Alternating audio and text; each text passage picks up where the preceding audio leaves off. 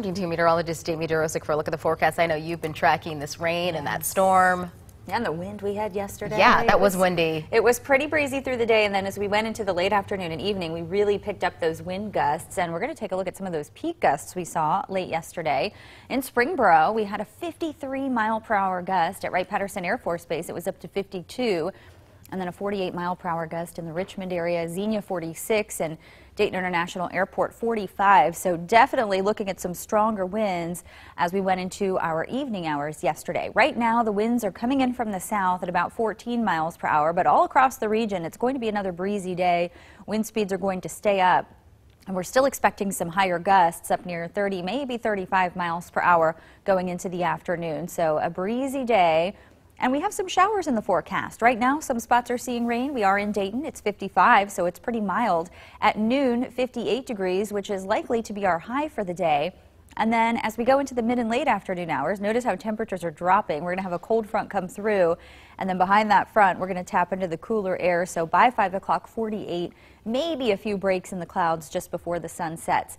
Live Doppler 2 HD into Montgomery County here from Miamisburg to Trotwood over to Brookville, Dayton, Northridge. We do have some rain. It's a little drier in Kettering, Centerville, but still maybe some drizzle is happening in those spots. And that's going to be a possibility in all of the Miami Valley this morning. A light shower, areas of drizzle coming through. You could see this band of light rain working through and then maybe even some spotty activity on either side of that. But the main area of rain has moved well off to our east and we've got some heavier rainfall down to the south as well. Check out the snow on the north side of the system, again impacting travel, but for us, as this comes through, the rain will come to an end. We don't have to worry about any snow, even as we turn colder on the backside of the system. It's 54 in Wapakoneta. We have 53 in Greenville and Troy, 56 even down towards Springboro. So a pretty warm morning out there. And we've got the breezy conditions, but temperatures are so warm, really not even much of a wind chill, even with the winds up.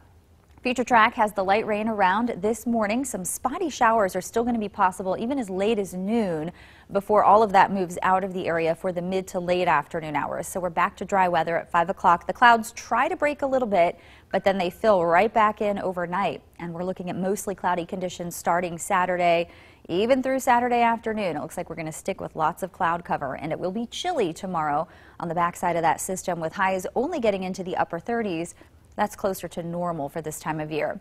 Today it's 58 early on and then falling temperatures late day. Showers end. It'll be breezy, cool, and mostly cloudy.